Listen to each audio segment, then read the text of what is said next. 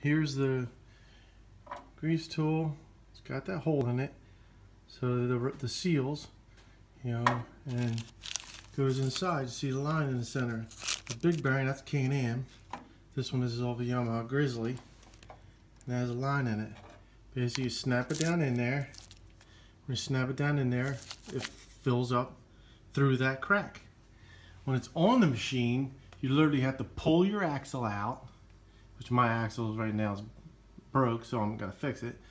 But then you take it and you just stick it in, you know, on the machine, press it in there, pump it up till the grease starts coming out.